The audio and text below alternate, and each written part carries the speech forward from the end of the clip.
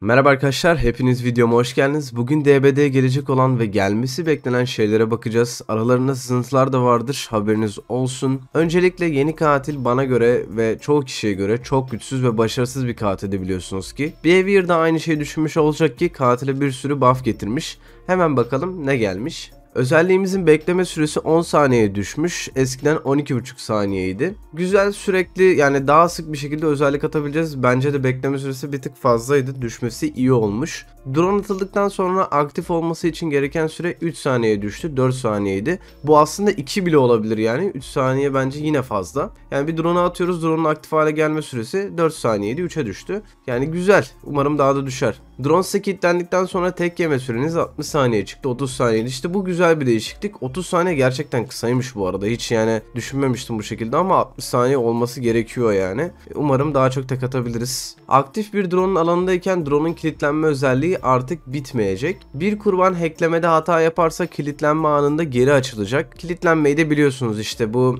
keşif modu ve arama modu var ya arama modunda olmasından bahsediyoruz yani.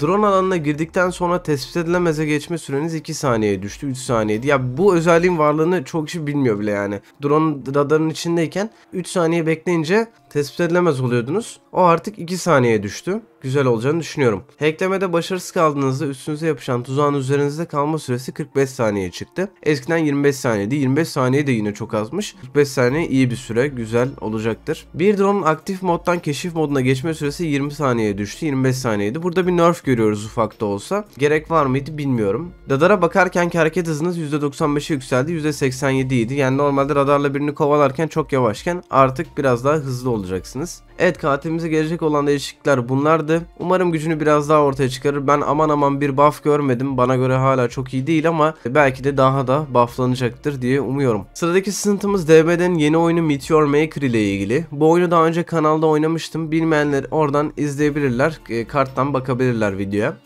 Etkinliğe gelecek olursak da DBD'de bir maça girip oyuna başladığınızda 3 tane farklı renkte varil spawn olacak. Bunlar mavi, yeşil ve kırmızı renkte variller olacak. Bu varillerden birini seçmek, bu varillerden hangi renk ile etkileşime geçerseniz o renge özel bir uğurluk kazanacaksınız ve bütün hayatta kalanların harelerini seçtiğiniz varilin renginde göreceksiniz. Yani ben mavi bir varil seçtiysem mavi varile özel bir uğurluk kazanacağım. Aynı zamanda bütün kurbanların harelerini mavi şekilde göreceğim. Varil dediğimiz şeyler de sanırım bu ekranda gördüğünüz gibi olacak ve bu etkinlikte kazanabileceğiniz skinler şöyle olacak. Şimdilik etkinlikle ilgili bildiğimiz şeyler bunlar. Bir de böyle bir ikonu var. O da güzel olmuş. Şimdi gelelim büyük haberlerden birine Alien sızıntısına. Ekranda gördüğünüz Twitter sayfası Alien markasının 2023'te neler yapacağından bahsetmiş. İşte burada birkaç tane Alien oyunundan bahsediliyor ki bu da güzel bir haber aslında. Başka Alien oyunları da bizim ilgimizi çeker. Ancak daha aşağılarda dikkatimizi çeken asıl kısım bir Alien DBD chapter geleceği. Evet burada yazana göre DBD Mayıs ve Haziran arasında bir yerlerde bir Alien chapter geleceği söyleniyor. Ne kadar doğrudur ne kadar kafadan atmadır bilmem ama umarım gerçektir diyelim çünkü Alien oyuna çok yakışır. Evet şimdi benim için şaşırtıcı olan bir habere geçelim. DBD'ye Alice Harikalar Diyarında ile ilgili bir şeyler geliyor arkadaşlar. Ama ne geldiğini bilmiyorum. O yüzden hemen heyecanlanmayın. Bu bir etkinlik olabilir, skin olabilir veya en iyi ihtimal yeni bir chapter olabilir. Ki umarım böyle olur. Çünkü Alice'in Border, Borderland ne lan? Alice'in Wonderland evreninde yani Alice Harikalar Diyarında evreninden bir şey görmek oyuna bence güzel olur. Yani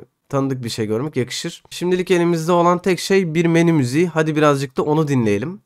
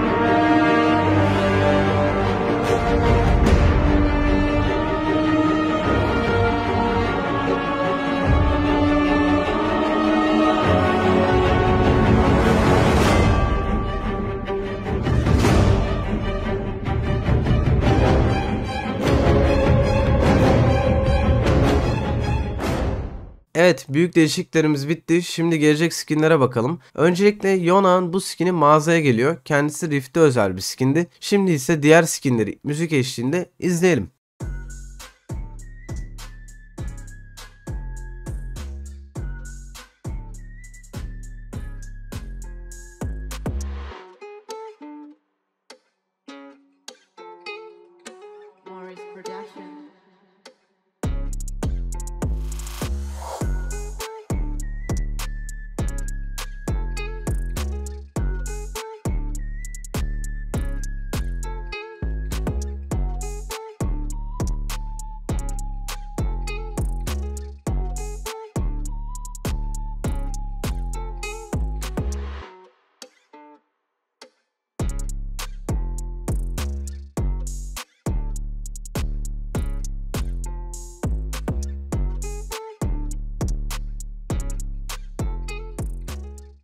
Evet skinler bu kadardı. Katili daha ne kadar erotik yapabiliriz diye düşünmüşler ve bu skin çıkmış ortaya. Evet arkadaşlar videonun sonuna geldik. Videoda bir sürü konunun üzerinden geçtik. Bunları olabilecek en az sıkıcı şekilde ve en hızlı şekilde size anlatmaya çalıştım. Fikirlerinizi yorumlara bekliyorum. Kendinize çok iyi bakın. Hoşçakalın.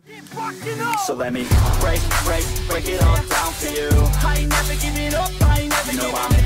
I'm take, take, taking that crown from you. I ain't worried about you, I ain't So let me break, break, break it all down for you. I ain't never giving up, I ain't never you know I'm take, take, taking that crown from you.